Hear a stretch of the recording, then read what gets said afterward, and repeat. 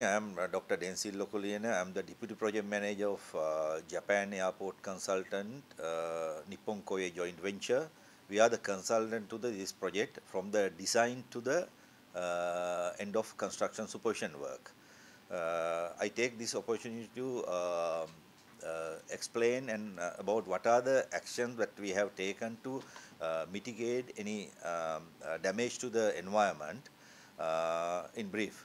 Uh, from the as uh, our chairman said before, we have taken all the approvals from uh, necessary approvals from uh, Central Environment Authority before implementing this project. And during the implementation, um, we what I want to say is that we follow all the uh, CEA, Central Environment, Appro- Central Environment Authority uh, requirements, regulations, as well as other local authority requirements uh, when we are doing the construction work, especially uh, this uh, the activities related to the environment. So now uh, in this development, this is a development, not a new development, but this is the enhancement of the existing facilities as per the uh, current demand. So we under that category, uh, we we in the in the in the building area, of course, there are some existing trees there. Out of all these trees, uh, we we uh, preserve about 200, nearly 200 trees uh, without affecting uh, them, and uh, are, which are very close to the boundary of our, our buildings. The secondly, we uh, root ball about 300 uh, uh, trees and we root ball and replant it in the area provided by the client that is ASL. Uh, I think it's about nearly uh, uh, one area is 10 acres, another area is about 24 plus another 14. Uh, it is within the uh, airport premises. So, and um, uh, for the trees already felled and cut, cu- cut and fell, we plant um, two trees per one cut tree. So uh, that is the that is the uh, that is our way of how we address this uh, issue. Uh, and same time uh, when we dispose, I mean when we though all these uh, commercially uh, valuable uh, trunks of the trees, we handed over that one to the uh, timber corporation.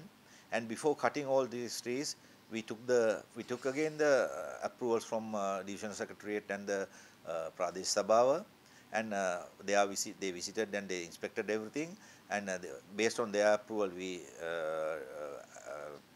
performed that activity, and the commercially uh, commercially um, valuable uh, trunks taken by uh, timber corporation and other residuals we dispose to a that is also reused as a, to make compost. And so we we totally we we we didn't we didn't put anything to the waste right? So and uh, these are the action what we have taken to the this uh, uh, all the fell, uh, uh, fallen trees. And then now um, uh, during the construction again now we even the transportation disposal all all are under approved areas we only do. And during the construction also we monitor the noise vibration water quality air quality uh, of the environment uh, the, the whole area and uh, through uh, government organizations called NBRO National Re- Research Building Organized yeah so NBRO and we monitor throughout the uh, construction activities so everything we have to make under the uh, control of uh, their guidelines. So we do that one. And um, the same time, um, I want to add some very uh, important thing. Uh, during the design stage, uh, about four or five years back, uh, three years back, uh, the client, the ASL requests us to design this building uh, to the to get the bronze certificate from LEED. LEED means Leadership in Energy and Environment Design.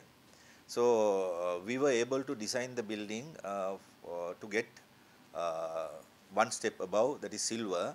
There um, uh, we have 30% energy saving and 40% water saving. So in that, that way we have designed the building.